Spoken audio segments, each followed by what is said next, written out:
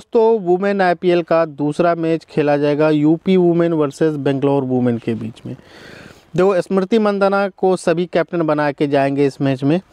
आपको क्या करना है, इस वीडियो में बताऊँगा, ठीक है? कौन से प्लेयर ट्रंप कार्ड होंगे? क्या वो आपको दीप्ति शर्मा या चमारी अट्टापट्टू या एंडी क्लर्क जो आपको दिख रही है यहाँ पर, ये आपको ग्रैंड लीग में विन करा सकती है।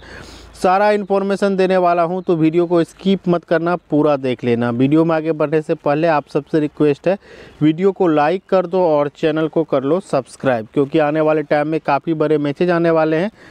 आपको यहाँ पर हर एक मैच की मैच एनालिसिस मिलती रहेगी। तो वीडियो में आगे बढ़ने से पहले मैं बता दूँ, दोनों टीम का क्या सिनेरियो है।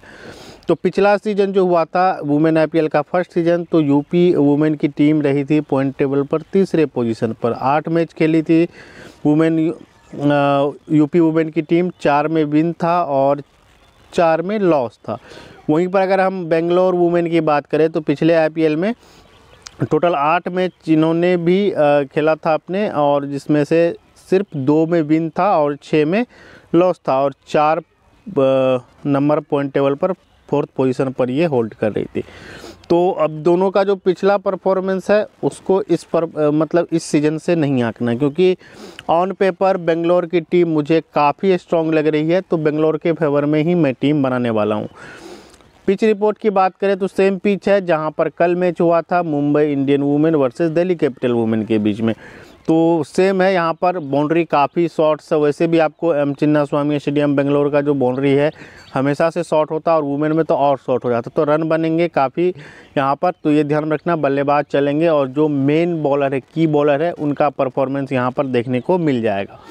तो अब सबसे पहले हम स्मॉल लीग की टीम बनाते हैं। दो तरह की टीम आपको देखने को मिल जाएगी स्मॉल लीग की। एक तो मैं बनाऊँगा क्लासिक फैंटेसी जैसे सेवन फोर कम्बिनेशन खेलते थे, उसके लिए टीम बनाऊँगा, दूसरा टेन वन कम्बिनेशन बनाऊँगा। तो यहाँ पर देखो, खास करके अगर हम वुमेन आईपीएल की बात करें तो टेन वन कम्बिनेशन ज़्यादा आपके लिए इफ़ेक्टिव होगा, क्योंकि बहुत सारे प्लेयर को आपको लेने का मौका मिल जाएगा, क्योंकि ऑलराउंडर सेक्शन में पाँच छः प्लेयर ऐसे हैं जिसको आपको पिक करना ही करना है, ठीक है? तो सबसे पहले हम बात करेंगे विकेट कीपर सेक्शन से सेवन फोर कम्बिनेशन के बारे में मैं बता रहा हूँ। विकेट कीपर सेक्शन की अगर हम बात करें तो यहाँ पर एलिसा अली रिचा घोष, आयरो और अली यादव दिख रही होगी, लेकिन इसमें खेलने के चांसेस जो है आपको एलिसा अली और रिचा घोष के इस मैच में जो है ना आपको, वैसे बल्लेबाज को ट्राई कर रहा है, जो अटैकिंग बल्लेबाज के साथ साथ थोड़ा पिच पे रुकती भी है, ठीक है? एक होता है ना, काफ़ी जैसे कि आया और हर एक बॉल से हिट स्टार्ट कर दिया तो उस तरह के जो प्लेयर है यहाँ पर ज़्यादा चलेंगे नहीं, क्योंकि जैसे आप कल शेफाली वर्मा के बारे में देख रहे होगे, लगातार सात बॉल डॉट करने के बाद आठवें बॉल पे आउट हो गई थी। तो वीडियो को पूरा देखना है, किस हिसाब से कम्बिनेशन सेट करना है, ध्यान से देख लो, ठीक है? फाइनल टीम इस मैच की टेलीग्राम पर मिलेगी डिस्क्रिप्शन में लिंक है क्लिक करके ज्वाइन कर लेना। एलिसा आइली को मैं पिक करूँगा, काफ़ी अच्छे फॉर्म में रिसेंटली और हर एक मैच में अच्छा परफॉर्मेंस करती हुई आ रही है। एलिसा आइली के बाद रिचा घोष एक काफ़ी ट्रंप पिक हो सकती है, लेकिन थोड़ा सा बैटिंग ऑर्डर का झोला, अगर बैटिंग ऑर्डर थोड़ा ऊपर करती है ये टॉप फोर में अगर बैटिंग करती है तो स्मॉल लीग की टीम में पिक करना और अगर टॉप फोर में बैटिंग नहीं करेगी, थोड़ा और नीचे आएगी तो ड्रॉप करके चल देना। फ़िलहाल मैं एलिशा अली के साथ जा रहा हूँ। विकेट कीपर सेक्शन से बैटिंग की बात करें तो स्मृति मंदाना मस्ट पिक होंगी। यहाँ पर इनका काफ़ी अच्छा परफॉर्मेंस भी और होम एडवांटेज भी मिलेगा, क्योंकि बेंगलोर की कैप्टन है स्मृति मंदाना और फॉर्म भी ठीक ठाक है। बहुत ज़्यादा इंप्रेसिव नहीं है, लेकिन स्मृति मंदाना जिस हिसाब की प्लेयर है ना, हर एक मैच में अच्छा परफॉर्मेंस करके आपको दे देती है। तो स्मृति मंदाना डी वैट और जी हैरिस ये तीन पिक जो है स्मॉल लीग की टीम में होने चाहिए। अगर आप सेवन फोर कम्बिनेशन वाली फैंटेसी खेल रहे हो तो ये ध्यान में रखना है। तीन पिक हो गया। इसके बाद कुछ और प्लेयर है, जिसमें से मैं आपको सजेस्ट नहीं करूँगा किसी को पिक करने के लिए। एक है एस मेगना ग्रैंड लीग में ट्राई कर सकते हो। बाकी यही तीन आपको मेन आपको जो है प्लेयर है बैटिंग सेक्शन से। ऑलराउंडर सेक्शन की बात करें तो टी मेगरात टीम मेघराज की बात करें तो ठीक ठाक परफॉर्मेंस रहा है। पिछले कुछ मैचों में फ्लॉप रही, उससे कुछ पिछले कुछ मैचों में ठीक ठाक परफॉर्मेंस रहा है। बैटिंग ये करेगी और ऊपर ही आएगी खेलने के लिए वन डाउन या सेकेंड डाउन आएगी खेलने के लिए। अच्छी परफॉर्मर है, हर एक मैच में अच्छा परफॉर्मेंस करती है तो टीम मेघराज टीम में होनी चाहिए। सोफी डिवाइन आपको पता है बाय डिफ़ॉल्ट मैक्सिमम लोग के कैप्टन ये रहने वाली है तो इसको ड्रॉप तो नहीं कर सकते हो आप। न्यूजीलैंड की क्रिकेटर है और सबसे बेस्ट ऑलराउंडर अभी के टाइम में सोफी डिवाइन है। एलिसा पेरी रिसेंट फॉर्म काफ़ी ज़बरदस्त, हर एक मैच में अच्छी परफॉर्मेंस बैटिंग से और बॉलिंग भी पार्ट टाइम करती है और यहाँ पर मे भी बॉलिंग से भी ये अच्छा परफॉर्मेंस करके दिखा दे। अब यहाँ पर दो ऑप्शन है एक तो दीप्ति शर्मा, एक चमारी अट्टा पट्टू है। अगर सेवन फोर कॉम्बिनेशन बना रहे हो तो दोनों में से किसी एक को पिक करना है। तो होम एडवांटेज की वजह से मैं दीप्ति शर्मा के साथ जाऊँगा। वैसे चमारी अट्टा पट्टू का जो रिकॉर्ड है ना, काफ़ी तगड़ा है रिसेंट मैचों में। रिसेंट टी ट्वेंटी जो भी मैचेज खेलिए चाहे वो इंटरनेशनल लेवल की हो, चाहे कोई लीग लेवल की हो, सब में अच्छा परफॉर्मेंस है चमारी अट्टा पट्टू का। तो लेकिन सेवन फोर कॉम्बिनेशन है तो ये चार ऑलराउंडर को मैंने पिक किया है अट्टा पट्टू को ड्रॉप किया है। बॉलिंग की बात करें सोफी इलेक्स्टोन काफ़ी अच्छी प्लेयर है।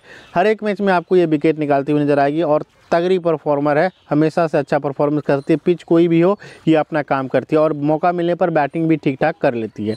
रेणुका सिंह ठाकुर अच्छा एडवांटेज मिलेगा यहाँ पर इस वेन्यू पे। पेसर्स को भी इनिशियल ओवर में थोड़ा सा मदद मिलता है। जैसे आपने कल देखा होगा इस्माइल जो बॉलिंग कर रही थी, शुरुआती कुछ ओवर काफ़ी अच्छी बॉलिंग कर रही थी। काफ़ी बॉल स्विंग भी हो रहा था।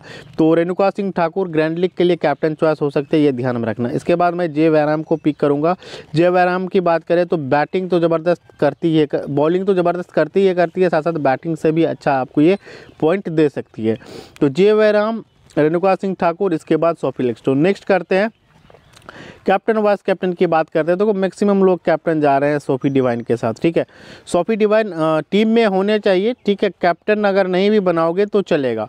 कैप्टन के लिए और चॉइस है, जैसे दीप्ति शर्मा हो गया, सोफी लेक्स्टोन हो गया, इसके बाद आपको टीम अगर आते हैं, कैप्टन का और चॉइस है तो यहाँ पर हम प्रिव्यू कर लेते हैं।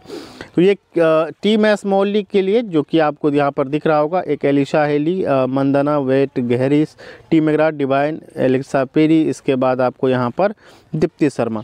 तो यहाँ पर अगर कैप्टन वाइस कैप्टन चॉइस की बात करें तो कैप्टन मैं यहाँ पर फ़िलहाल थोड़ा सा मैं जा रहा हूँ सेफ़ सोफी डिवाइन को ही दूँगा मैं कैप्टन और भीसी की बात करें तो भीसी में बहुत सारे आपके पास ऑप्शन है। बेंगलोर देखो, इस मैच में ना मैक्सिमम चांस है बेंगलोर आराम से विन कर जाएगी।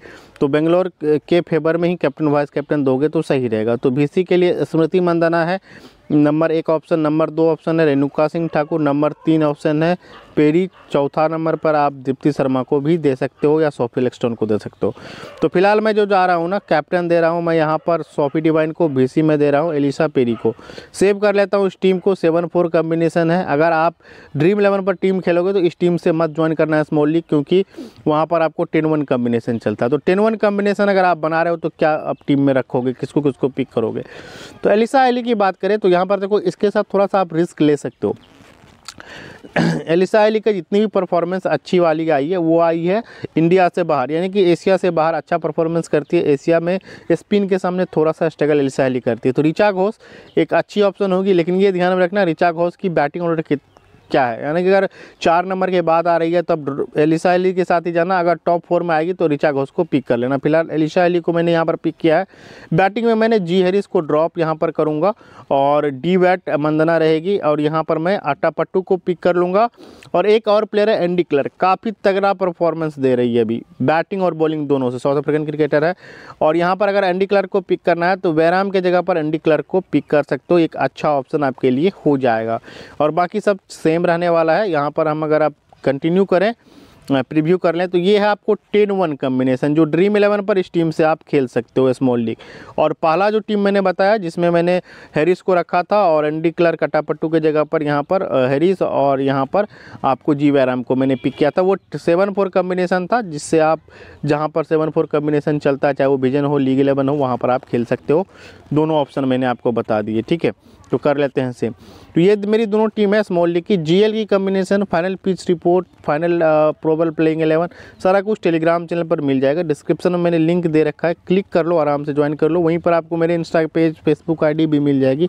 वहाँ पर भी आप फॉलो कर सकते हो। मिलता है नेक्स्ट मैच एनालिसिस में। तब तक के लिए बेस्ट ऑफ़ लक